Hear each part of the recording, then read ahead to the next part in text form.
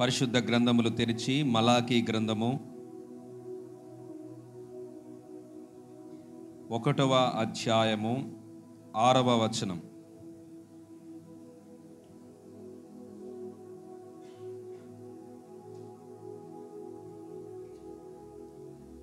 కుమారుడు తన తండ్రిని గనపరచును గదా దాసుడు తన యజమానుని గనపరచును గదా నా నామమును నిర్లక్ష్యపెట్టు యాజకులారా. నేను తండ్రినైతే నాకు రావలసిన ఘనత ఏమాయను? నేను యజమానుడనైతే నాకు భయపడువాడెక్కడున్నాడు? అని సైన్యములకు అధిపతి అధిపతియగు యహోవా మిమ్మును అడగగా. ప్రార్థన చేసుకుందాం. మహోన్నతుడైన మా దేవా ఈ సమయమందు నీ స్వరాన్ని మేము వినాలని ఆశతో నీ తట్టు చూస్తున్నాం. కీర్తనలు గ్రంథం నూట ఏడవ అధ్యాయం తొమ్మిదవ వచనం ప్రకారం ఏలే అనగా ఆశగల ప్రాణమును ఆయన తృప్తి పరిచి ఉన్నాడు ఆకలిగొనున్న ప్రాణమును ఆయన మేలు చేత నింపి ఉన్నాడు నువ్వు లేఖనం ప్రకారం మీరు ఆశగల ప్రాణమును తృప్తిపరిచేవాడవి. ఆకలి కొనిన ప్రాణమును మేలు చేత నింపేవాడవి. మా దేవా మా ప్రభువా ఈ దినము ఆశతో నీ తట్టు చూస్తున్న మాకు నీ స్వరం కావాలి. మీ మాటలు కావాలి. మమ్ములని సరిచేసే నీ వాక్యము ప్రభువా మాకు వినిపించబడతా ఉన్నప్పుడు మేము సవరించుకొని మా జీవితాలు మీకు సహకారంగా ఉండునట్లును సరి అయిన పాత్రలుగా సహాయము చేయవలసిందిగా వేడుకుంటున్నాను. మీ సహాయం కోరుకుంటూ నజరేయుడైన యేసుక్రీస్తు నామను పేరట ప్రార్థిస్తూ పొందుకుంటున్నాం మా పరమ తండ్రి. ఆమెన్. భూనామన్ పేరట మీ అందరికీ శుభాలు. గురి వచ్చిన మీ అందరికి కూడా పేరు పేరున సర్వశక్తి మంతుడైన మన ప్రభు అయిన యేసుక్రీస్తు పెట్ట నిండు వందనాలు తెలియజేస్తున్నాను. దేవుడు ఈ దినం మనల్ని దర్శించి తన మాటల చేత ఆశీర్వదించును గాక ఒకరినొకరు పలకరించుకుందామా? జీవము గల దేవుడు మన మధ్యన ఉన్నాడు. పరిశుద్ధ గ్రంథంలో పాత నిబంధనలో చివరి గ్రంథంగా మలాకి అనే ప్రవక్త రాసిన ఈ యొక్క పుస్తకం పొందుపరచబడింది. అయితే మలాకి తర్వాత మనం చూస్తే కనుక నాలుగు వందల సంవత్సరాలు కొత్త నిబంధనకి మధ్యలో దాని ఏమంటారంటే గ్యాప్ అని అంటారు. డార్క్ పీరియడ్ అంటారు. దేవుడు ఈ భూమి మీద మనుషులతో మాట్లాడలేదు. తన దూతను పంపలేదు ప్రవక్తను పంపలేదు. నాలుగు వందల సంవత్సరాలు. సో ఎప్పుడైనా సరే ఒక సందేశం ఒక ఆ ఒక దినము ఏర్పాటు చేయబడి అది ఆ దినము చివరి సందేశం అన్నప్పుడు ఆ అలర్ట్నెస్ వేరే ఉంటుంది. ఫైనల్ ఛాలెంజింగ్ మెసేజ్ అంటారు దాన్ని. ఫైనల్ ఛాలెంజింగ్ మెసేజ్ ఆఖరి సవాలు సందేశం అంటారు. ఈ దినమునకు ఇది ఆఖరి సందేశం అని అన్నప్పుడు మెలకొలుపుగా సవాలుగా ఆ సందేశాన్ని దేవుడు అందిస్తాడు. దాన్ని ఆ రీతిగా మనం కూడా సవాలుగా స్వీకరించాల్సిన అవసరం ఎంతో exactly Malachi final message in the old testament. ఒక సవాలుతో కూడుకున్న సందేశం ఇచ్చాడు. ఒక సాహసోపేతమైనటువంటి బాధ్యతను జ్ఞాపకం చేశాడు. ఒక రీతిగా చెప్పాలంటే మనలో ఉన్న లోపాలు అవి సమస్యలు అని చూపించాడు. చాలాసార్లు లోపాలు సమస్యలుగా చూడం. బయట వాటిని సమస్యలుగా చూస్తాం మనం. మన జీవితానికి మన వ్యతిరేకంగా కనిపించే ప్రతిదాని సమస్యగా చూస్తాం. మన ఇష్టానికి వ్యతిరేకంగా కనిపించే ప్రతిదాని మనం ఏమంటామంటే చెప్పండి? సమస్య అంటాం. సమస్య అంటే ఏంటి? మన అభిప్రాయానికి వ్యతిరేకంగా రూపొందించబడేదే. మనల్ని మనల్ని ఇబ్బంది మనం మన అభిప్రాయాన్ని మన ఇష్టాన్ని మన యొక్క అభిరుచులను వ్యతిరేకించే దాన్ని సమస్య అంటాం. కానీ మళ్ళాకి ఏమంటాడంటే నీ లోపం సమస్య అని అంటాడు. నీ యొక్క అవిధేయత సమస్య. నీలో కొన్ని లోపాలు ఉన్నాయి. యు హ్యావ్ డ్రా బ్యాగ్స్ ఆ లోపాల వల్ల నువ్వు ప్రయోజనకరంగా ఉండలేవు. ప్రయోజనకరంగా నిన్ను చేయని ప్రతి లోపం ఒక సమస్య అని మలాకి ఆనాడు ఉన్నటువంటి తరాన్ని హెచ్ హెచ్చరిస్తూ ఈ మాటలు రాశాడు. మీలో చాలామంది లోపాలతో దేవుని పాద సన్నిధిలో ఉన్నారు. దేవుని మందిరంలో చేర్చబడుతున్న మీరు పలుమార్లు లోకంలో కనిపిస్తున్న సమస్యలు చూస్తున్నారు. లోకంలో ఎదుర్కొనే వ్యతిరేక బాటును బట్టి మీరు దాని సమస్యగా ప్రభు సన్ని తీసుకొస్తున్నారు. అయితే దినము దేవుడు మాట్లాడుతూ ఉన్నాడు. అదేమిటి అంటే మీలో కొన్ని లోపాలు ఉన్నాయి. దేవుని మందిరంలో ఉన్న మీలో కొన్ని లోపాలు ఉన్నాయి. దేవుని తండ్రి అని పిలిచే మీలో కొన్ని లోపాలు ఉన్నాయి. దేవుని యజమానుడా అని పిలిచే మీలో కొన్ని లోపాలు ఉన్నాయి అయితే అవి సమస్యలుగా మీరు చూడట్లేరు అని మలాకి అంటున్నాడు నా ప్రియ సహోదరి సహోదరుడా ఈ దినం అదే మాటలు ప్రభు మనతో మాట్లాడాలని ఇష్టపడతా ఉన్నాడు.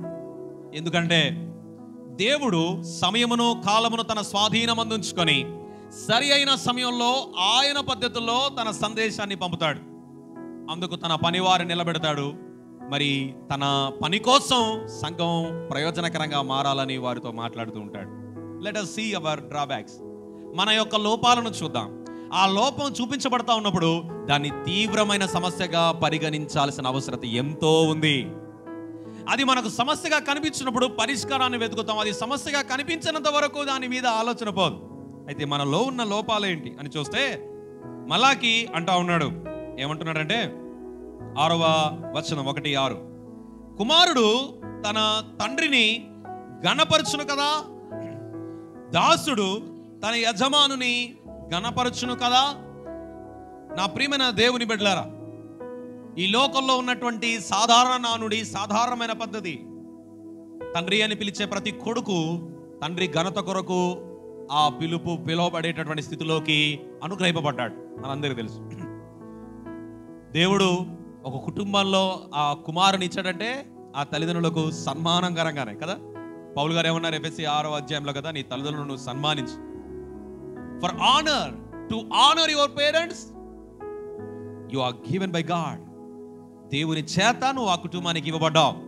నీ బాధ్యత ఏంటంటే you have to honour your parents నీ దేవుడైన యహోవాను నువ్వు సేవించాలి నీ తల్లిదండ్రులను నువ్వు సన్మానించాలి. నీకు ఇవ్వబడిన ప్రతి బాధ్యతల్లో దేవునికి ఘనత వచ్చినట్లు నువ్వు వ్యవహరించాలి. కుమారుడు తనకున్నటువంటి ప్రైమర్ రెస్పాన్సిబిలిటీ ఏంటంటే తండ్రిని ఏం చేయాలి? ఘనపరచాలి. దేవుణ్ణి తండ్రి అని పిలుస్తున్న మనం ఆయన కుమారులుగా కుమార్తెలుగా పిలువబడుతున్నాం. యోహాను సువార్త ఒకటో అధ్యాయం పన్నెండవ వచనాన్ని మనం చూడగలిగితే తను ఎందరైతే అంగీకరించిరో వారందరినీ వారందరికీ అనగా ఆయన నామందు విశ్వాసముంచు వారందరికీ దేవుని పిల్లలగుటకు ఆయన అధికారం ఇచ్చాడు అంతకుముందు దేవుణ్ణి మనం ఎరగక ముందు దేవుణ్ణి తండ్రి అని పిలుచుటకు మనకు అధికారం లేదు. Because Isaiah fifty nine one టూలో చెప్తా ఉంది నీకు ఆయనకి మధ్యలో ఉన్న పాపపు గోడలను బట్టి ఆయన చేతులు కురచగా లేవు. ఆయన విననేరక లేడు.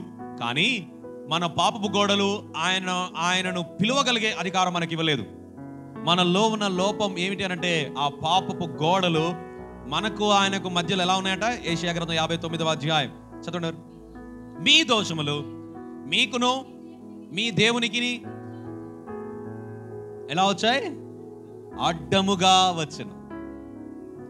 నా ప్రియమైన దేవుని బిడ్డలారా అయితే యోహాను ఒకటి పన్నెండులో ఆ బంధకాలు కూల్చవేయబడ్డాయి.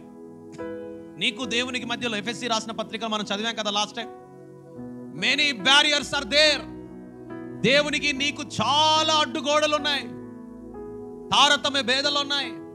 కుల భేదాలు ఉండే మరి మనము ఆయనకు స్థాయి భేదాలు ఉన్నాయి. మనకు ఆయనకు వ్యక్తిత్వ భేదాలు ఉన్నాయి. ఆయన చేత ఆయన రూపంలో సృజించబడిన మనము పాపము చేత ఉండగా ఏమైపోయినాం? ఆయనకు శత్రువులం అయిపోయినాం. ఆయన పరిశుద్ధులైతే మనం అపవిత్రంగా బతుకుతున్న వారిగా ఉన్నాం. అందుకే దేవుడు ఏమన్నా తెలుసా? మీకు ఫోర్ కేటగిరీస్ ఇచ్చినాను. మీరు పాపులై ఉన్నారు మీరు భక్తిహీనులై ఉన్నారు మీరు బలహీనులై ఉన్నారు మీరు నాకు శత్రువులై ఉన్నారు.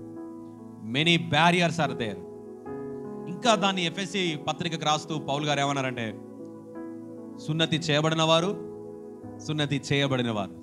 సంఘాలలో చేర్చబడిన మీలో మీకు కొన్ని బ్యారియర్స్ పెట్టుకున్నారు. ఆ బ్యారియర్స్ తీసేసి బ్యారేజ్లు కట్టుకుంటూ వచ్చిండు పౌల్ గారు. బ్యారియర్ అంటే అడ్డుగోడ. బ్యారేజ్ అంటే? బ్యారేజ్ అంటే ఏంటండి? ఏంటిది? బ్రిడ్జ్ ఆనకట్ట. అంతేనా? ఆనకట్ట. బ్యారియర్లు ఊరిసేయుర్రి బ్యారేజ్లు కట్టుకోర్రి. మీరందరూ ప్రభువులో ఒకటే. ఒకే మందిరముగా మీరు కట్టబడుతున్నారు అని పౌల్ గారు చెప్పారు. నా ప్రియమైన దేవుని బిడ్డారా యేసు యొద్దకు రాక మునుపు అడ్డు గోడల చేత ఆయనకు దూరంగా ఆయనను తండ్రి అని పిలవలేని అయోగ్యులుగా మనం ఉన్నను. కేవలం ఆ అడ్డుగోడ ఎలా కూల్చబడిందంటే చదవండి అక్కడ యువాను ఒకటి పనులు తన ఎందు విశ్వాసం ఉంచిన వారికి. ప్రైజ్ అలాడ్ ఆయన ఎందు విశ్వాసం ఉంచడం అంటే మనలో జరిగిన కార్యం ఏంటి? రోమపత్రిక పదవాధ్యాయం తొమ్మిది పది వచనాలు ఎవరైనా చదవండి. యేసు ప్రభు అని నోటితో ఒప్పుకొని దేవుడు మృతులలో నుండి ఆయన లేపనని ఏం చేయాలి? విశ్వాసం ఎక్కడ రావాలి? నీ హృదయమందు విశ్వసించినడలో నువ్వు రక్షింపబడుదువు ఆ, ఏలయనగా నీతి కలుగునట్లు మనుషుడు హృదయములో విశ్వసించుచు రక్షణ కలుగునట్లు నోటితో ఒప్పుకొనను. ఏమనగా ఆయన యందు విశ్వాసం ఉంచు ప్రతి వాడును సిగ్గుపడని లేఖనం చెబుతున్నది praise the Lord you have you are able to call him father ఎప్పుడు అనంటే when you are repent about your sins నీ పాపములు నువ్వు నోటితో ఒప్పుకొని ఆయన నా పాపముల నిమిత్తం సిలువేయబడ్డాడు ఆయన నా పాపముల నిమిత్తం సిలువలో తన రక్తాన్ని కార్చాడు. ఆయన మరణం జయించి తిరిగి లేచాడు. అది ఎవరి కోసం? నా కోసం. అని నువ్వు అంగీకరించినప్పుడు నీ హృదయంలో విశ్వసించావు గనక నువ్వేమైపోయావు ఇప్పుడు? రక్షింపబడ్డావు. నీ రక్షణ ఏం చేసిందంటే ఆ గొప్ప మహోన్నతుడైన దేవునికి భూమి ఆకాశములు సృజించి మహత్య ఘనత ప్రభావములకు అర్హుడైన దేవాది దేవునికి నిన్ను ఏం చేసింది? కొడుకుని కూతుర్ని చేసింది రయ్యా హల్లెలూయ. గట్టిగా దేవునికి స్తోత్రం చెల్లిద్దాం. Now you and I sons and daughters of the Lord మనం దేవునికి కుమారులుగా కుమార్తెలుగా స్వీకరించబడ్డాం. ఈ సంగతి మనం ఎరుగుట మనకెంతో సంతోషం. మనకు నిత్య జీవాన్ని మనకు అది ఆపాదిస్తుంది. ఇప్పుడు మలాకి అంటున్నాడు మీరు ఆయన విశ్వాసం ఉంచడం వలన తండ్రి అని పిలుస్తున్నారు అయితే ప్రభువుకి కుమారుగా కుమార్తెలుగా బతుకుతున్న మనం తండ్రిని గణపరచువారుగా ఉన్నామా? తండ్రిని గణపరచకుండా చేస్తున్నటువంటి పనులేంటి? మలాకి రాస్తున్నాడు ముందుకెళ్దాం ఏడో వచనం.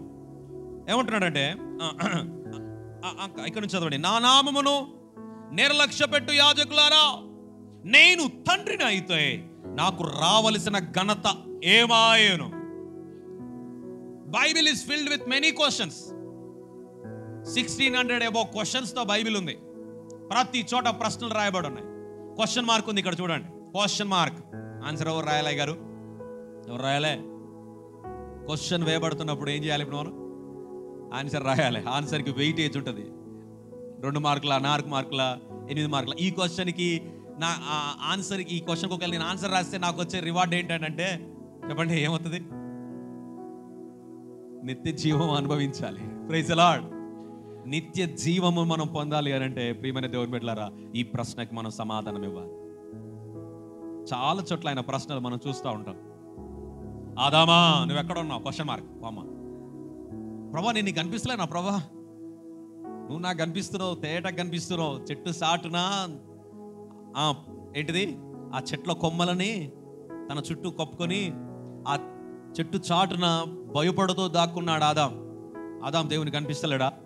అమ్మ అన్నపూర్ణమ్మ దేవునికి మన హృదయం కనిపిస్తలేదా? కనిపిస్తుందా? కానీ దేవుడు ఎందుకు అడిగిండు?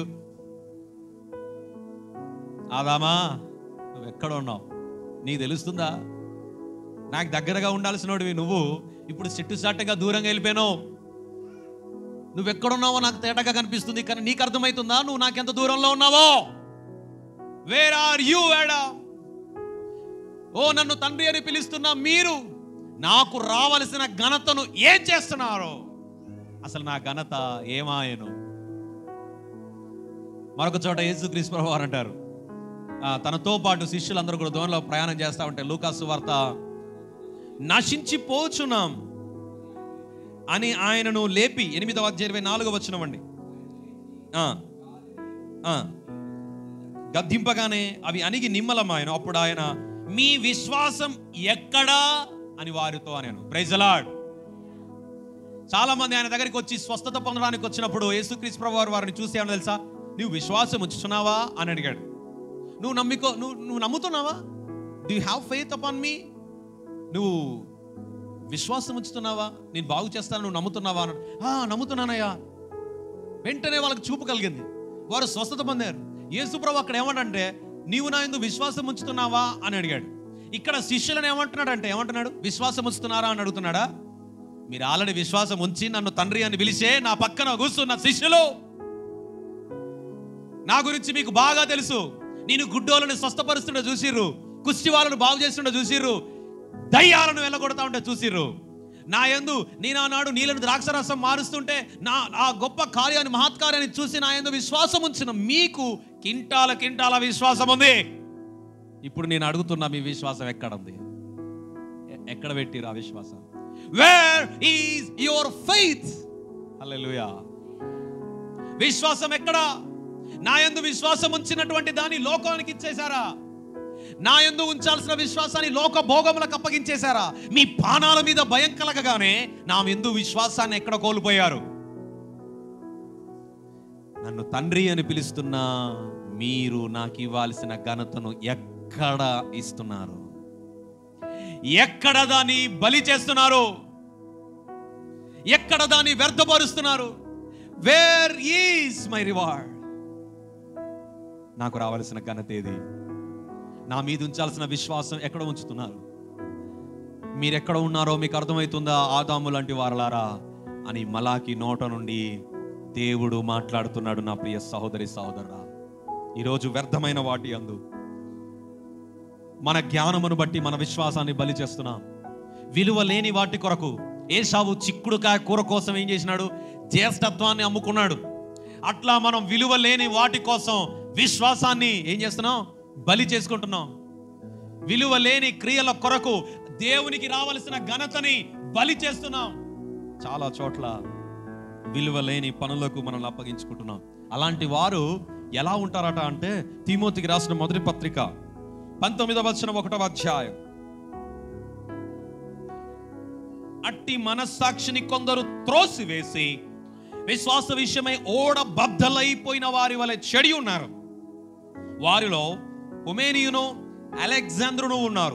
వీరు దూషింపబడకుండా శిక్షింపబడుటకే వీరిని సాతానుకు అప్పగించి తిని. నాకు అర్థం కాలే. జాగ్రత్తగా వినండి నా ప్రియమైన దేవుని బిడ్డలారా. వీరు దేని విషయంలో ఓడబద్దలైన వారి వలె ఉన్నారట? అమ్మ మీరందరూ నాకెళ్ళి చూసి చెప్పాలా? దేని విషయంలో? విశ్వాస విషయంలో ఓడబద్దలైపోయిన వారి వలె ఉన్నారట. విశ్వాసం కోల్పోతున్నావా? విశ్వాస విషయంలో నిర్లక్ష్యం చేస్తున్న ప్రభు ఎందు ఉంచాల్సిన విశ్వాసాన్ని లోకంలో ఉన్నటువంటి భోగాల విషయంలో అది రాలేదు. నేను ఆయన ఆయన అడుగుతున్నాను. ఈ భూ సంబంధమైన వాటి మీద మనసు పెట్టుకొని వాటిని నువ్వు పొందలేని స్థితిలో నా ప్రియమైన దేవుని బిడ్డలారా నీవు ఆ విశ్వాసాన్ని కోల్పోతూ మరి లోకానుసారమైన విషయాలలో నువ్వు దానిని నిర్ల దానిని నువ్వు దాని విలువను చేతులారా పాడు చేసుకుంటున్నావా? అలాంటి వారు ఎలా ఉన్నారంటే విశ్వాసం విషయమై వారి మనస్సాక్షిని త్రోసివేసి. నేను దినాన అన్న శ్రీను అన్న పిక్నిక్లో మాట్లాడుతున్నాడు. మనస్సాక్షిని త్రోసేసి అంటే ఆ గొప్ప దేవునికి కుమారులుగా బతుకుతున్న మనం మనకున్నటువంటి గొప్ప కనెక్షన్ ఏంటంటే ఆ తండ్రి ఆదేశాలు తండ్రి యొక్క సందేశాలు తండ్రి ప్రేమ తండ్రి ఆప్యాయత తండ్రి అనుగ్రహించినటువంటి ఈవులు కుమారులుగా అనుభవించే గొప్ప భాగ్యం మనకుంది. ప్రతిదినం తండ్రి తన కొడుకులతో మాట్లాడాలని కూతురుతో మాట్లాడాలని ఇష్టపడతా ఉంటాడు. అయితే ఆ కుమారుడుకు దేవుడు చేయవద్దు ఆ తండ్రి చేయవద్దు అన్న పనులు వినబడినను అది మనస్సాక్షిని ప్రేరేపిస్తూ ఉన్నను. కొన్ని మార్లు ఆ పనులు మన కనుల ఎదుట కనిపిస్తుంటే ఆ మనస్సాక్షిని చంపుకొని కొన్నిసార్లు చేస్తూ ఉంటాం చూసారా? దేవుని వాక్యంతో మన మనస్సాక్షి నిర్మలంగా మార్చబడతా ఉంటుంది. ఆ మనస్సాక్షిని కొన్నిసార్లు తోసివేసి దేవుడు నేను అంటా ఉన్నాడు కదా అన్న కొన్ని పనులు నువ్వు చేస్తా ఉన్నప్పుడు దేవుడు సందేశం పంపిస్తూ ఉంటాడు అది చేయొద్దు చేయొద్దు చేయొద్దు అని. అయినా కూడా నువ్వు దాన్ని తోసివేసి చేస్తూ ఉంటావు. అప్పుడు దేవుడు మళ్ళీ అంటా ఉంటాడు నువ్వు వెళ్ళి ఇప్పుడు ప్రార్థన చేయి. నువ్వు వెళ్ళి ప్రార్థన చేయి. దేవుడు క్షమిస్తాడు అన్నప్పుడు నువ్వు చేస్తే నువ్వు తేటపరచబడతావు. లేదు అలా త్రోసి వేసుకుంటూ త్రోసి వేసుకుంటూ పోతే ఒక ఆయన ఏమంటే మురికి కిటికీలు అని రాశాడు.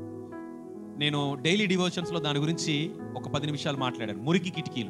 మీరు చదవండి మీరు ఆ వీడియో చూడండి. మురికి కిటికీలు శుభ్రపరచుకుందామని కరోనా టైంలో మెసేజ్ పెట్టారు. అందరూ కరోనా టైంలో కిటికీల నుండి ఏమైనా కరోనా వస్తుందా? కిటికీలు కడుక్కుందాం అనుకున్నట్టుగా విన్నారు అది. కానీ మురికి కిటికీలు అంటే ఏంటో తెలుసా? ఆ కిటికీల గుండా సూర్యరశ్మి ఇంట్లోకి ఎట్లా వస్తుందో? మన మనస్సాక్షి ఒక కిటికీ లాంటిది.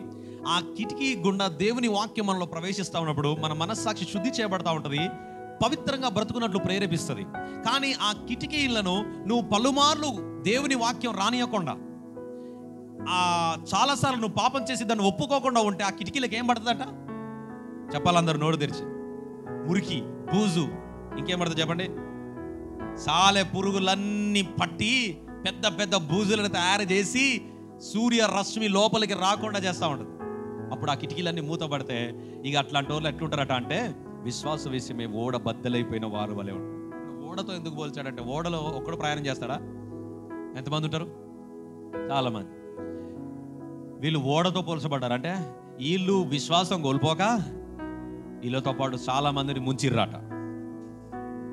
వీళ్ళు మునుగుడు కాకుండా చెప్పాలి మీరందరూ వీళ్ళతో పాటు చాలా మందిని ఉంచిర్రట తండ్రికి రావాల్సిన ఘనతను నువ్వు దొంగిలిస్తున్నట్లయితే నువ్వు మునగడం కాక ఇతరులకు ప్రమాదకరంగా మారుతావు. ఇప్పుడు పౌలు గారు వీళ్ళ గురించి ఏమంటారంటే అలెగ్జాంద్ర ఉమ్మైనటువంటి వీళ్ళని ఎవరికి అప్పగించినట్టు అని చూస్తే నాకు భయం వేసినది ఈ మాట. సాతానుకు అప్పగించింది. ఈ మాట నిజంగా భయం వేసింది రయ్య ఎక్కడి నుంచి బయటపడ్డా మనం ఫస్ట్? ఎక్కడి నుంచి? సాతాను దగ్గర నుండే కదా. వాడు మన జీవితాలను పాడు చేస్తా ఉంటే ఏసే తన రక్తం కార్చి అరే నిన్ను నా ప్రాణం పెట్టాను అనుదీప్ కోసం. నా రక్తం అంతా కార్చాను. వాడు నావాడు. అతడు నావాడు. ఇతడు నా కొడుకు. ఇతడు నా కూతురు ఈమె నా కూతురు అని సాతాను బంధకాల నుండి మనం రక్షించుకుంటే ఇప్పుడు పౌలు ఏమంటున్నాడు తెలుసా? ఇక ఇలా మార్చు నా వల్ల కాదు కానీ మళ్ళీ సాతానికి అప్పగిస్తాడు. దేవునికి రావలసిన ఘనతను దొంగలించబడే దొంగిలించే ప్రతి ఒక్కరు తిరిగి సాతానుకు అప్పగించబడిన స్థితిలోకి వెళతారట. అది ఎట్టుంటుందంటే ఒక దయ్యం ఇంటి నుంచి పోగొట్టబడిన తర్వాత ఆ ఇల్లు అలాగే ఖాళీగా ఉంటే ఆ దయ్యం పోయి ఇంకెంతమంది దయ్యం తీసుకొస్తుందట? ఇంకేడు దయ్యాలను తీసుకొచ్చి కూర్చుంటారు. అలెలుయా నిన్న ఒక మాట అన్నాడు సీరియల్ శ్రీనివాస్ అన్న ఏమన్నాడంటే ఏసును నమ్ముకున్న తర్వాత ఏసేకి తగినట్టుగా ఏసే అడుగులు అడుగులు వేయాల్సిందే లేకపోతే నువ్వు సాతానుకి సాతాను అడుగులు అడుగులు వేస్తున్నట్టే అని అన్నాడు. అలెలుయ ప్రేమైన దేవుని బిడ్డారా దేవునికి రావలసిన ఘనతను నీవు కుమారుడిగా ఇస్తున్నావా? నీ విశ్వాసం ఎక్కడ? ఆయనకు రావలసిన ఘనత ఎక్కడ? నా ప్రియమైన దేవుని బిడ్డారా ఇక్కడ చూడండి కొన్ని వారి లోపాలు చూపించాడు ఏడో వచనం. మేము ఏం చేసి నీ నామం నిర్లక్ష్యపడదమని మీరు అంటారు? నా బలిపీఠం మీద అపవిత్రమైన భోజనమును మీరు అర్పించుచు ఏమి చేసి? నేను అపవిత్ర పరిచితిమని మీరు అంటారు యహోవా భోజన బలను నీచపరిచినందున చేతనే కదా? ఫస్ట్ భోజనం గురించి మాట్లాడాడు. నా ప్రియమైన దేవుని బిడ్డలారా ఆనాడు యాజకులతో ఈ మాట మాట్లాడుతున్నాడు.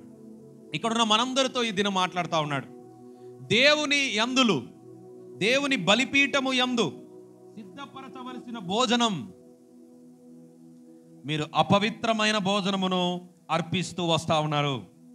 తర్వాత ఎనిమిదవ వచనం చూస్తే గుడ్డిదాన్ని తీసుకొని బలిగా అర్పించడంలో దోషం కాదా?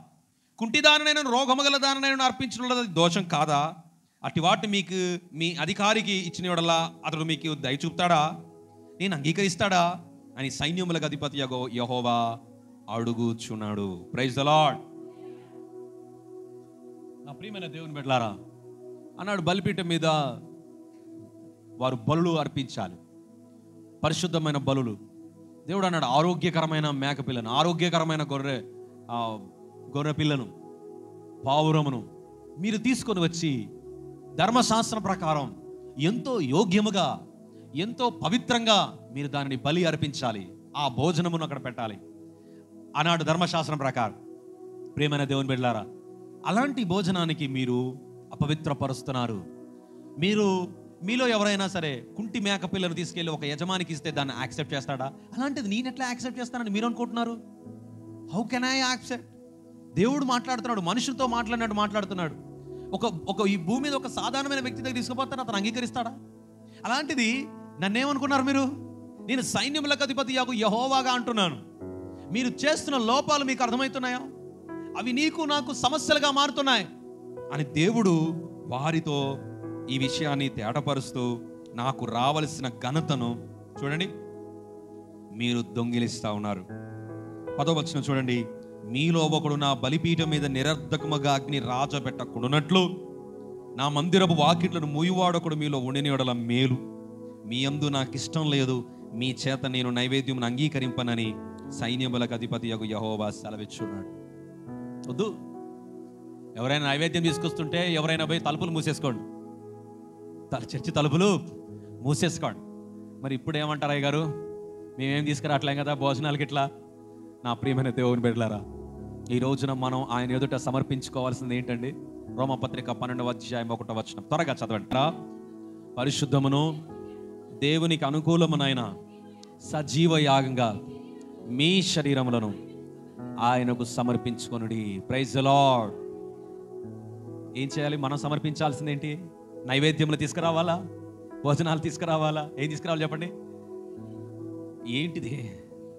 మీ శరీరములను. Praise Lord submit your bodies submit your life when you're alive నువ్వు బ్రతికి ఉన్నప్పుడే నీ దేహంలో జీవం ఉన్నప్పుడే నీ దేహంలో ఉన్న అవయవాలను నీ యొక్క జీవితాన్ని దేవునికి సమర్పించుకొని ఆయన ఎదుట ఆయన పానముగా నీవు బ్రతకవలెను. ప్రైజ్ అలాడ్ ఇందు మూలముగా తెలియజేయబడినదేమనగా మీరు దేవుని ఆలయమై ఉన్నారు. ప్రైజ్ అలాడ్ మీరు దేవుని శరీరమై ఉన్నారు.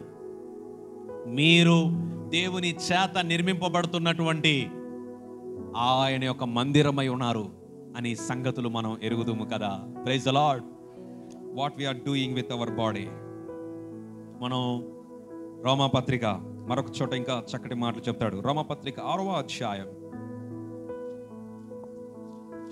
త్వరగా. ఆరవ అధ్యాయం పన్నెండవ వచనం నుండి పద్నాలుగు.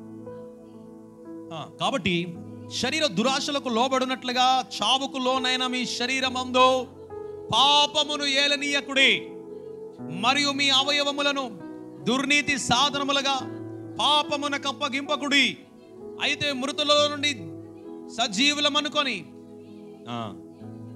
ఏం చేయాలట? అమ్మా మీరు వింటున్నారా? దేవునికి అప్పగించుకొనుడి. మీ అవయములను నీతి సాధనములుగా దేవునికి అప్పగించుడి. Practice righteousness with our body ఒక తమ్ముడు నేను క్యాంప్లో అటెండ్ అయ్యాను. ఆ డివోషన్స్ తీసుకోవడానికి నేను వెళ్ళాను. దేవుడు ఎంత చక్కగా మాట్లాడుతూ వచ్చాడు. నేను కూడా కొన్ని విషయాలు నేర్చుకున్నాను. ఆ మాట ఏంటంటే ఒక తమ్ముడు ఆ తమ్ముడు పేరు అరుణ్ మాట్లాడుతూ ఉన్నాడు. ఏమంటున్నాడంటే నీతిని ప్రాక్టీస్ చేయకుండా నీతిని ప్రాక్టీస్ చేయకుండా అవినీతి ఎలా తెలుస్తుంది? నీతిని రుచి చూస్తే కదా నీకు తప్పేంటో తెలుస్తుంది ఒప్పేంటో చేస్తేనే కదా కదా? దాన్ని అనుభవిస్తూ ఉంటేనే కదా ఇది ఇది తప్పు ఇది అవినీతి ఇది అబద్ధం అని తెలుస్తుంది. నువ్వు నీతిని ప్రాక్టీస్ చేయాలి. నీతిని సాధనములుగా ప్రభువుకి అప్పగించుకోవాలి. సాధనములుగా అంటే దేవునికి ఉపయోగపడేటటువంటి సాధనాలు. అంటే ఒక పని చేసేటప్పుడు ఒక సాధనం అవసరం. ఆ సాధనంగా దేవునికి నీ చేతులను అప్పగించుకో. సాధనంగా నీ కాళ్ళను దేవునికి అప్పగించుకో. నీ నోటిని అప్పగించుకో. నా ప్రియమైన దేవుని బిడ్డారా నిన్ను నీవు పూర్తిగా ప్రభువునికి అప్పగించుకొనుటకు తీసుకురాబడుతున్న దేహము అపవిత్రముగా పాపమును నీ దేహములో ఏలనివ్వద్దు. నన్ను తండ్రి అని పిలుస్తున్న నీలో ఉన్న లోపం ఏంటో తెలుసా? నాకు రావలసిన ఘనతను దొంగిలిస్తున్నావు. నాకు కొడుకుగా బతకాల్సిన నీ దేహంతో పాపమును ఏలనీస్తున్నావు. ప్రైజ్ లార్డ్ నేను చాలాసార్లు చెప్పాను.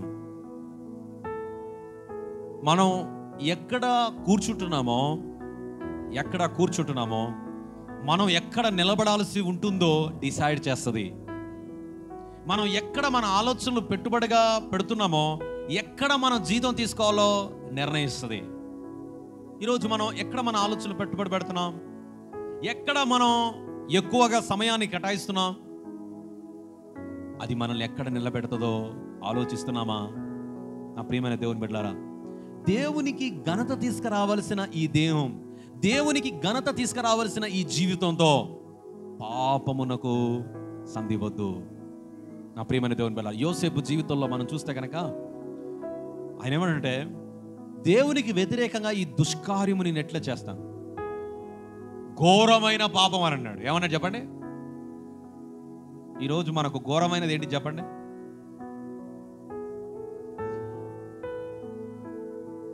ఘోరం ఏ ఎలా ఏది మనకు ఘోరంగా కనిపిస్తుంది చెప్పండి? పా పానాలు పోవడం ఘోరం కదా? ఒక చోట భూకంపం టర్కీలో భూకంపం చచ్చిపోతాడు అయ్యో ఘోరం. కొన్నిసార్లు మనం అనుకున్నది సాధించలేకపోతే ఘోరం. పంట చేతికి రాకపోతా ఉంటే ఘోరం. వ్యాపారంలో నష్టం కలిగితే ఘోరం. కష్టపడ్డ ఫలితం రాకపోతే చెప్పండి. కానీ యోసేపు అన్న దగ్గరికి పోతే అడిగితే ఏమంటున్నాడు నాకు పాపం ఘోరంలాగా అనిపిస్తుంది. ప్రైజ్ అలాడ్ పాపము ఘోరంలా కనిపించకపోతే నీలో లోపం ఉందని అర్థం. నీ కళ్ళు కంటి వెలుగు దగ్గరికి పోయి చెక్ చేయించుకోవాలి. ప్రైజ్ అలాడ్ ఆడికి పోతే వాళ్ళ కళ్ళద్దాలు ఇస్తారు కానీ దేవుని వాక్యం దగ్గరికి వస్తే ఆ కళ్ళు శుద్ధి చేయబడతాయి. ప్రైజ్ అలాడ్ లాస్ట్ టైం ఒక మాట దేవుడు మాట్లాడాడు కదా మన ఇక్కడైనా? నరసింహలో చెప్పానా?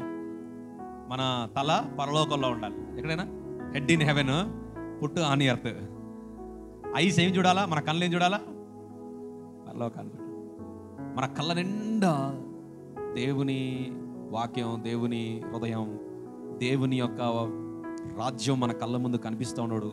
వెతకాలట. దేవుని రాజ్యముని నీతికి వెతకండి. వెతికే పని ఏం చేస్తే మన దేవంలో కళ్ళు చేస్తూ ఉంటాయి. ఆ కళ్ళు దేని వెతకాలి? ప్రతిసారి దేవునికి ఘనత తెచ్చే పని వెతకాలి. నిన్ను చేస్తే దేవుని ఘనత వస్తుందా? దేవుని రాజ్యం విస్తరిస్తుందా?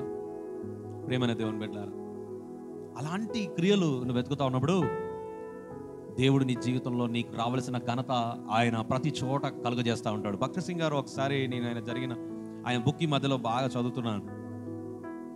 ఒక పేజ్లో సంగతులు ఎలా ఉన్నాయంటే ఆయన ఒక చోట వాక్యం చెప్పి అక్కడ నుంచి వేరొక ప్రాంతానికి ఆయన తిరిగి వెళ్ళాలి. ఆ టైంలో ఆయన ఎక్కుపోతూ ఉంటే ఆయన ఎయిర్పోర్ట్కి వెళ్తూ ఉంటే దారిలో ఒక కుటుంబం వారు వచ్చి ఆ కుటుంబంలో ఉన్న సమస్యను వివరించి భక్తి సింగ్ గారు మీరు మా ఇంటికి వచ్చి ప్రేయర్ చేయాలి. మీ కొరకు చాలా రోజుల నుంచి ఎదురు చూస్తున్నాం. మీరు తప్పకుండా ప్రేయర్ చేయాలి. అని వాళ్ళు రిక్వెస్ట్ చేస్తూ ఉన్నారు. ప్లేన్ టైం అవుతా ఉంది భక్తి సింగ్ గారికి. సో ఆ టైంలో ప్రార్థన చేశాడు. దేవా మరి నేనేం చేయాలి? ప్లేన్ టైం అవుతా ఉంది. ఇది మిస్ అవుతే నేను ఇంకో దగ్గర మీటింగ్ అటెండ్ అవ్వలేను. వీళ్ళు రమ్మంటున్నారు ఏం చేయాలంటే దేవుడు అంటా ఉన్నాడు నువ్వు వెళ్ళు అని. సరే ఆయన అక్కడికి వెళ్ళాడు. ఆ ఇంటికి వెళ్ళి ప్రార్థిస్తూ వన్ అవర్ ఖచ్చితంగా ఒక గంట పట్టింది ఆ ఇంట్లో ప్రార్థన చేశాడు. వచ్చేసరికి ప్లేన్ లేదు. వెళ్ళిపోయింది. అందరూ అక్కడ ఉన్న వాళ్ళందరూ బాధపడుతున్నారు కొంత కోపంగా ఉన్నారు. వద్దన్నామా మీకు ప్లేన్ టైం అవుతుంది వద్దన్నామా మీరు అనవసరంగా అక్కడికి వెళ్ళి ప్రార్థన చేసి రావాలని వెళ్ళారు. ప్లేన్ వెళ్ళిపోయింది ఇప్పుడు టైంకి ఎలా వెళ్తామండి?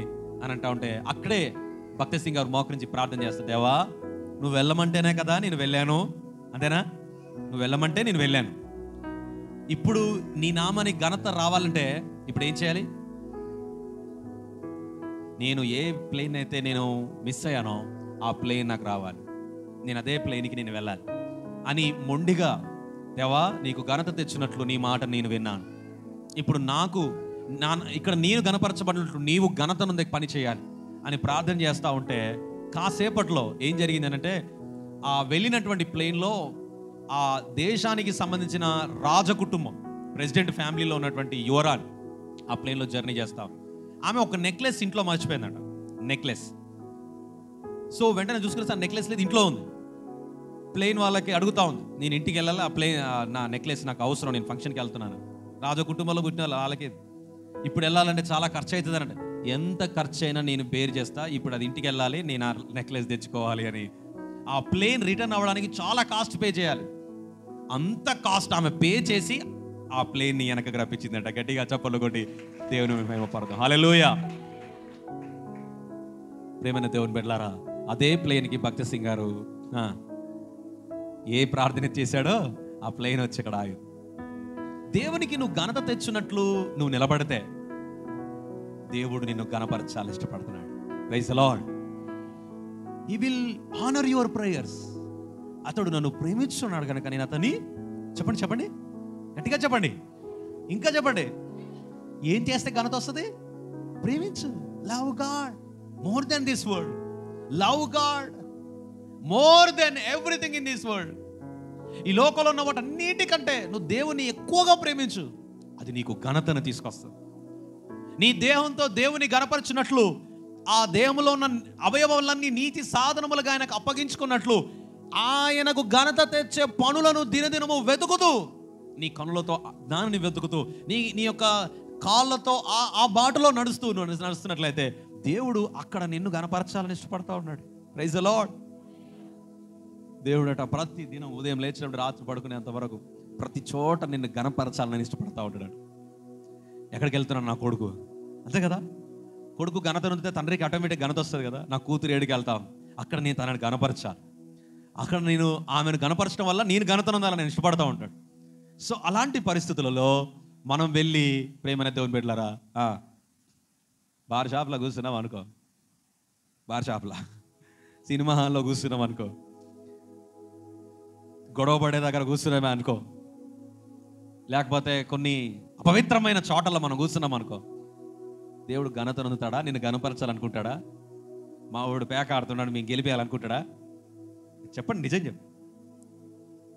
ఇంత దారుణం అండి దినమంతా లోబడనల్లని వారి వైపు ఆయన చేతులు చాయుచున్నాడు సహోదరి సహోదరుడా if you love him he will honour you ఈ దినమునకు ప్రభు ఈ కొన్ని మాటలతో మనతో మాట్లాడుతున్నాడు.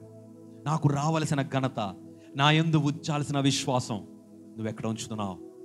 నా ప్రియమైన దేవుడు చాలాసార్లు ఆ విశ్వాసాన్ని కోల్పోవటం వలన చాలా కోల్పోతున్నావు. ఒకవేళ మనుషులు ఈరోజు ఈ మాటలు వింటున్నటువంటి నీవు ఎలాంటి క్లిష్ట పరిస్థితుల్లో ఉన్నా నువ్వు ఆయనని తిరిగి ప్రేమిస్తే ఆయన నేను గణపరచాలని ఇష్టపడుతున్నాడు. కీర్తనల గ్రంథం అరవై ఆరు పన్నెండులో అరవై ఆరు పన్నెండులో ఒక మాట రాయబడింది. ఎలాంటి పరిస్థితిలో నువ్వు ఉన్నా ఇంతకన్నా దారుణమైన పరిస్థితి ఉండదేమో. నరులు మా నెత్తి మీద ఎక్కునట్లు చేసిదివి మేము నిప్పులలోను నీళ్ళలోను పడితిమి అయినను నీవు సమృద్ధి గల చోటికి మమ్మల్ని రప్పించి ఉన్నావు. హల్లెలూయా. మనుషులు మీదెక్కుతున్నారయ్యా అంతేనా? ఒకవేళ నువ్వు ఉన్న పరిస్థితి అదే కావచ్చు. మనుషులు మీదెక్కుతున్నారయ్యా. నన్ను తొక్కుతున్నారయ్యా. నన్ను బాధపరుస్తున్నారయ్యా. నన్ను ఏడిపిస్తున్నారయ్యా. దేవుడు అంటున్నాడు నేనే చేస్తా నేనే. ఏమంటున్నాడు? ఏమంటున్నాడు చెప్పండి? చేసితివి. దావిది ఏమంట చేసితివి. ఎవరు చేశారు? యోసేపు గారు ఎవరు చేశారు? దేవుడే చేశారు ఇంకేం చేశాడు? నీళ్ళలో నిప్పుల్లో వేశాడు. నిప్పులో పడ్డ వాడిని వెంటనే ఎక్కడేశాడు? మీకు మీలో సైన్స్ బాగా తెలిసిన వాళ్ళు. నిప్పుల్లో ఉన్న వాని మీద నీళ్ళు పోయచ్చా? ఏమైతే వెంటనే ఏమవుతాయండి? చల్లతాయా? నిప్పుల్లో పడ్డవారు వెంటనే అక్కడ ఆ గాయం ఏమైపోతుంది? ఉబ్బుద్ది. విజయ అంటారు గాయం ఉబ్బుద్ది. నిప్పుల్లో వేసినావు. తీసుకునే వాళ్ళ నీళ్ళలో వేసినావు. సరే. ఎవరు వేశారు అని చూస్తే నేనే వేసా అని దేవుడు అంటున్నాడు. ఏంది ప్రవ్వా? అయితే ఆ, అయినను నీవు సమృద్ధి గల చోటికి మమ్మల్ని రప్పించు నీ తండ్రి నిన్ను విడిచేవాడు కాదు సహోదరి సహోదరుడా. Every day wherever you go he want to praise you ఆయన నిన్ను నీకు స్థుతి రావాలని ఇష్టపడతా ఉన్నాడు. He want to give you praise నీకు ఘనత ఇవ్వాలని ఇష్టపడతా ఉన్నాడు. నా కుమారుడు వ్యాపారానికి వెళ్తున్నాడు. నా కుమారుడు పొలానికి వెళ్తున్నాడు. నా కుమారుడు కాలేజీకి వెళ్తున్నాడు. నా కుమార్తె అటు వెళ్తా ఉంది. అక్కడ నేను గణపరచాలని నేను ఇష్టపడతా ఉన్నాడు. ఆ- ఆ చోటలో నువ్వు అనిపిస్తూ ఉండొచ్చు. అవి నీకు దుఃఖకరమైన పరిస్థితులు కావచ్చు. లేకపోతే నేను బాధ కలిగించే పరిస్థితులు కావచ్చు. కానీ నువ్వు ఆయనను ప్రేమిస్తూ ఆయన చిత్తం నువ్వు వెతుకుతూ ఉన్నప్పుడు ఏం చేస్తావు తెలుసా? సమృద్ధి గల చోటికి రప్పించే దేవుడు. ప్రైజ్ అలాడ్ కాబట్టి నా ప్రేమైన దేవుని బిడ్డలారా తండ్రి అయిన దేవుని వైపు చూస్తూ దేవా దినమెంత నేను గనపరిచే కుమారుడిగా ఉండాలి. నా దేహం నీ ఎదుట అంగీకరించబడే జీవితంగా ఉండాలి. నా దేవునితో నేను చేసే పనులు నువ్వు అంగీకరించే రీతిగా ఉండాలి. నా కళ్ళతో నేను చూసే చూపులు నువ్వు అంగీకరించే రీతిగా ఉండాలి. నా నోటితో మాట్లాడే మాటలు నువ్వు అంగీకరించే రీతిగా ఉండాలి. నా నేను నడిచే బాటలు నువ్వు అంగీకరించే రీతిగా ఉండాలి. నా జీవితం నీ ఎదుట నువ్వు అంగీకరించే పానార్పణంగా ఉండాలి. దయగల దేవా అక్కడ మాట అంటున్నాడు నాకు అపవిత్రమైన నైవేద్యం తీసుకొస్తూ ఉంటే మీలో ఒకరిని మీరే తయారు చేసుకొని తలుపులు మూసేసుకోండి. లోపలికి రాకుండా అయితే దేవుడిని ఏమంటున్నాడు తెలుసా? ఆ రోజు ఒకవేళ నీ జీవితానికి ఇష్టంగా బతకకపోతే నేనే తలుపేస్తా. రైజలాడు ఏమంటున్నాడు? I will close the door సహోదరి సహోదరుడా నీ మనసులో ఈరోజు ఒక గట్టి తీర్మానం మనం తీసుకుందాం. మనలో ఉన్న ఒక లోపాన్ని చూపించాడు. ఆ లోపం మన విశ్వాసాన్ని పరీక్షించింది. మనము దేవునికి ఇవ్వాల్సిన ఘనతను ప్రశ్నించింది. ఇంకా మనం దేవునికి ఎంత దూరంలో ఉన్నామో పరీక్షించింది. ఈ మూడు విషయాల్లో ఆయనకు రావాల్సిన ఘనతను తిరిగి ఆయనకు అప్పగించుకున్నటకు మనం ఇష్టపడదామా? Let us all come to prayer అందరం కూడా మరొకసారి ప్రభు పాదాలు పట్టుకొని దేవా నేను ఎలాంటి పరిస్థితుల్లో ఉన్నా నన్ను కనపరచాలని ఇష్టపడుతున్నావు. అది కష్టకాలమైన సమృద్ధి అయిన స్థలంలో నన్ను తీసుకెళ్తావు దేవా. దేవా నేను నిన్ను కనపరచాలి నా నోట నిన్ను అవమానపరిచే మాట ఉండకూడదు. నా కనులతో నీకు దుఃఖాన్ని కలిగించే వాటిని చూడకూడదు. నా కాళ్ళతో నీకు అపకీర్తి తీసుకొచ్చే బాటల్లో నేను వెళ్ళకూడదు. నా జీవితంతో నిన్ను అవమానితపరిచే పనులను నేను పూనుకోకూడదు. దేవా నీవు నాకు ఇచ్చిన ఈ జీవితం నీవు నాకు ఇచ్చిన ఈ అవయవములు నీవు నాకు ఇచ్చిన ఈ దేహము నీ మందిరం అనించి నీ యొక్క ఆలయం నుంచి నీ పరిశుద్ధ సాధనములను ఎంచి నీతి సాధనములను ఎంచి నీకు ఘనత తెచ్చినట్లు బ్రతుకుటకు నాకు కృపనే భయా లార్డ్ మన లోపము సమస్య. దేవుని ఎదుట ఏజు ఆయనకి ఆయన ఎందు ఉంచాల్సిన విశ్వాసం నీవు సమస్యల వైపు చూస్తూ కోల్పోతున్నావేమో. వేర్ ఈజ్ యువర్ ఫెయిత్ అంటా ఉన్నాడు. ఆదాముతో మాట్లాడిన నువ్వు ఎక్కడున్నావు పాపము పాపపు క్రియలు పాపపు కృత్యాలు పాపపు ఆలోచనలు దేవునికి నేను దూరంగా ఉంచాలని ప్రయత్నం చేస్తాయి. పాపం నిన్ను ప్రార్థించకుండా చేస్తుంది. పాపం వాక్యం చదవకుండా చేస్తుంది. పాపం దేవుని సహవాసానికి నేను దూరంగా ఉంచాలనే చూస్తూ ఉంటుంది. కానీ ప్రార్థన దేవుని వాక్య ధ్యానం పాపము నిన్ను అంటకుండా చేస్తుంది. పాపమునకు దూరంగా నిన్ను ఉంచుతుంది. తద్వారా నువ్వు దేవునికి ఘనత తెచ్చినట్లు దేవా my head should in heaven my feet on this earth to glorify you Lord నా తల నా కనులు నిన్ను వెతకాలి. ప్రతి విషయంలో నేను నిన్ను గనపరచాలి ఆ రీతిగా నన్ను చేయయ్యా నాకు సహాయం చేయి. నిర్లక్ష్యం చేస్తున్నామంటున్నాడండి దేవుడు. నిర్లక్ష్య పెడుతున్న వారలారా సహోదరి సహోదరుడా are we neglecting are we neglecting our daily prayers are we neglecting our daily meditations ప్రభువుని వాక్యంతో సమయం గడుపుట మనం నిర్లక్ష్యం చేస్తున్నామా? దేవుని సహవాసాన్ని నిర్లక్ష్యం చేస్తున్నామా? మన దేహమును నిర్లక్ష్యంగా అవినీతి సాధనములుగా ఉపయోగిస్తున్నామా? చావునకు లోనైన మీ అవయవములు పాపంలో చచ్చిపోయిన మీ అవయవాలు మరలా పాపమునికి ఎట్లా అప్పగిస్తున్నారు? దేవునికి ప్రియులైన పిల్లల వలె మనం బ్రతకాలనుకుంటున్నాడండి.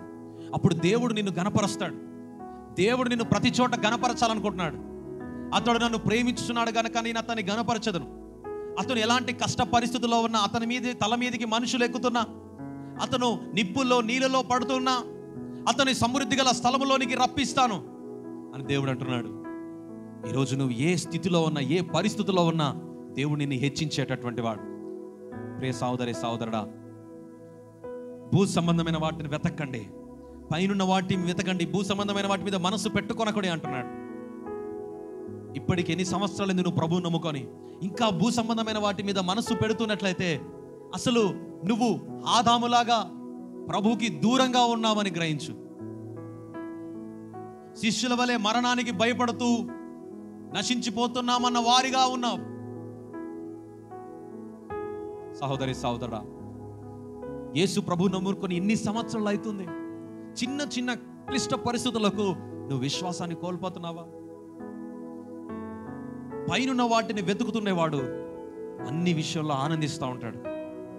దేవుని తండ్రితో సహవాసం కలిగి ఉన్నటువంటి వాడు తండ్రి భుజాల మీద కూర్చున్నవాడు తండ్రి ప్రేమను అనుభవిస్తూ ఉంటాడు కానీ కిందున్న సమస్యల వైపు చూసి కం- కలవరపడడు. దేవుడు నేను తన భుజాల మీద ఎక్కించుకున్నాడు. తండ్రి నిన్ను బట్టి గర్వపడాలని ఘనతనుందాలని ఇష్టపడుతున్నాడు. సహోదరి సహోదరుడా let us rebuild our faith మన విశ్వాసాన్ని పూరిగొల్పుకుందాం. దేవుల్లో మనం ఆనందించడం ప్రారంభిద్దాం. దేవుల్లో ఆనందించడం పురిగొల్పబడదాం. ఎంతమంది నేను ఆయన గనపరచాలనుకుంటున్నానన్న వారు చేతులెత్తారా? ఆయనకు రావాల్సిన ఘనతను నీ దొంగిలించొద్దు.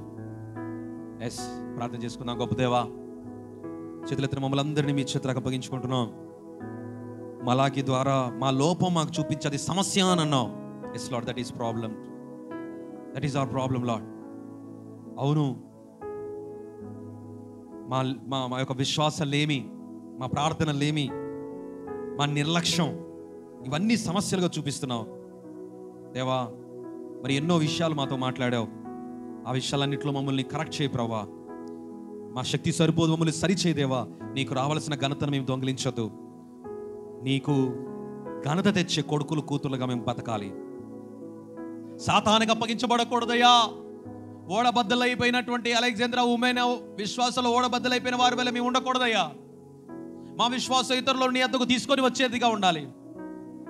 మా విశ్వాసం విలువలేని వాటి కొరకు మేము బలి చేయదు. విలువైన వాటి కొరకు పెట్టుబడిగా పెడుతూ ఆ నిత్యత్వం కొరకు మేము ప్రయాసపడాలి. పరుగెత్తాలి. నీ మహిమ కొరకు నిలబడాలి. ఆ రీతిగా చిత్రత మమ్మల్ని అందరినీ నీ ఘనమైన పాత్రలుగా వాడుకోమని ఏ సునామని పెట్ట ప్రార్థిస్తూ పొందుకుంటున్నాం తండ్రి. ఆమెన్. ఆమెన్. ఆమెన్.